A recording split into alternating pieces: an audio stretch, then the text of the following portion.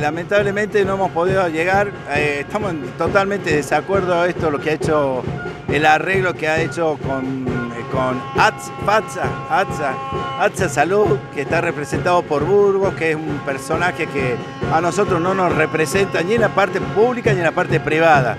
Ese acuerdo que ha hecho el gobernador con esta gente es un acuerdo mafioso que, como ustedes saben, toda la familia está incluida y él es partidario de él, es un participa en el gobierno, entonces, por supuesto, nos ha perjudicado y estamos viendo, como ustedes vean recién, eh, tenemos que estar asistiendo a los pacientes con estos problemas y estos problemas tienen que desaparecer. Nosotros tenemos que estar dedicados a atender a los pacientes y no estar manifestándonos continuamente.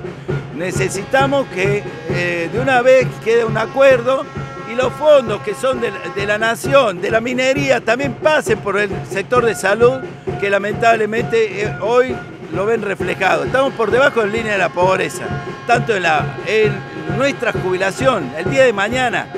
Él ha hecho un acuerdo con unas guardias y encima no podemos faltar ni para eh, perfeccionarnos ni un congreso, todo porque ha puesto un punto especial que nos descuentan por, por eh, presentismo que cuando no lo podemos cumplir cae directamente en lo que es eh, nuestro sueldo. ¿Ha podido charlar con la ministra, doctor?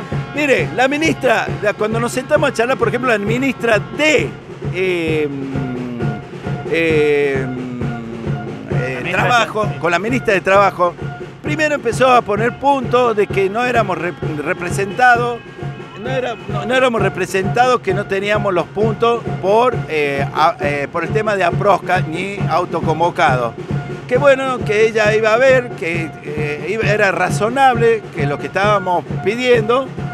tuvimos una charla muy buena, pero que necesitaba los papeles. Acá la representación de la gente, el disgusto de la gente es total, ¿me entienden? La ministra, por supuesto, cuando le hablamos de fondo de la nación y todo lo demás que venía acá, lo que ministra de Salud me manifestó, por supuesto, que todo tiene que ser para obras, para obra pública.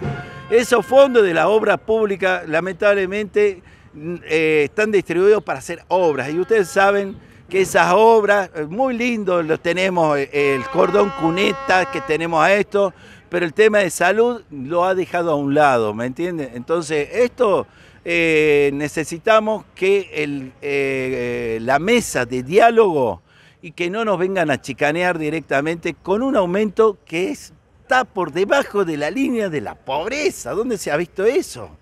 ¿Me entienden? Entonces, veamos y charlemos. Eh, la gente acá, con esto que han hecho, la ha puesto más furioso. Encima hay descuentos a nivel de colegas que eh, son precarizados con contratos de guardia encima. Eh, por ejemplo, en esterilización hay una, una, mm, eh, empleada que directamente le han pagado cero pesos, ¿me entienden? Entonces, tenemos que ver todo esto desde los empleados, desde la ambulancia, del enfermero, de los médicos, y todo acá somos indispensables. Hoy maternidad está manifestándose y ustedes lo saben.